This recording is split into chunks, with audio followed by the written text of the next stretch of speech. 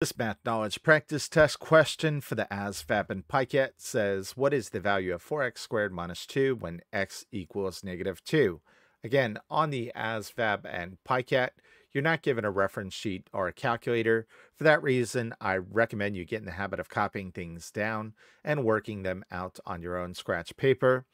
In order to solve this one, we have to evaluate this expression when x equals negative 2. So the first thing I'm going to do is plug in negative 2 wherever I see x. This becomes 4 times negative 2 squared minus 2.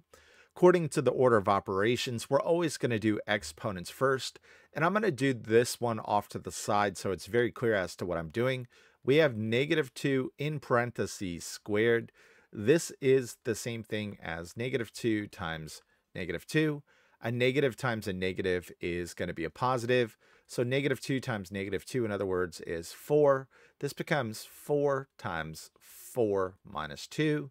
This becomes 4 times 4 is 16 minus 2. Uh, 16 minus 2, of course, is 14. So when we evaluate this expression for x equaling negative 2, we can see that the answer is A 14.